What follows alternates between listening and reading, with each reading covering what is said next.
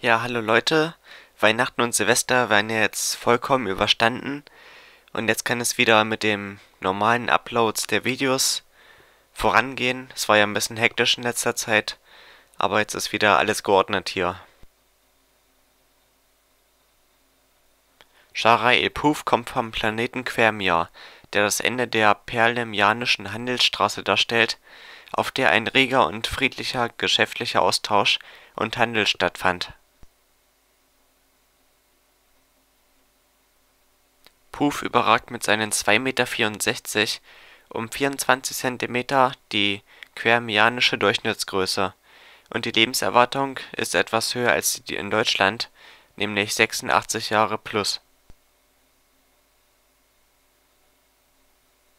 Er riecht mit den Händen, weil er keine Nase besitzt und außerdem enthält der Brustkorb ein zweites unteres Gehörn.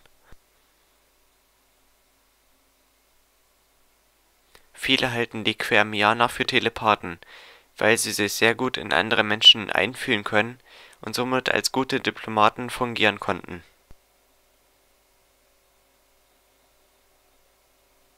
Scharael besaß die zwei einschüchternden Fähigkeiten, Geisterillusionen zu beschwören und durch Gedankenmanipulation die Kontrahenten mit ihren eigenen großen Ängsten zu konfrontieren, was mich so ziemlich an Scarecrow aus Batman Begins erinnert.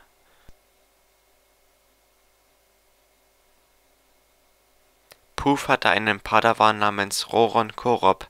Er kam vom Planeten Itor und bildete auch vor den Klonkriegen viele Padawane aus. Der Anodat-General Ashar Korda wollte mit dem Kind von Schar ein antikes Machtartefakt Coruscant zerstören. Gemeinsam konnten jedoch Jarae mit Jango Fett und seinem Gesell Ashar und die Verbrecher im Reaktorkern vernichten.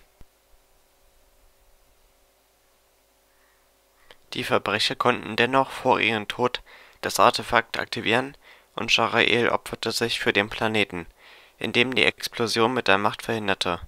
Dieses Sterbedatum lag bei 27 vor Schlacht Yavin.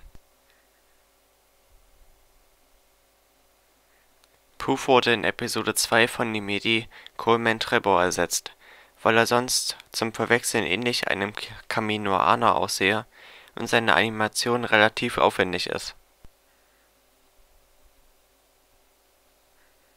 Bis jetzt habe ich ja nur Bilder gezeigt, auf denen er mit zwei Armen abgebildet ist, doch unter seiner Kuppe besitzt er noch ein weiteres Paar, die aber nicht häufig gebraucht werden.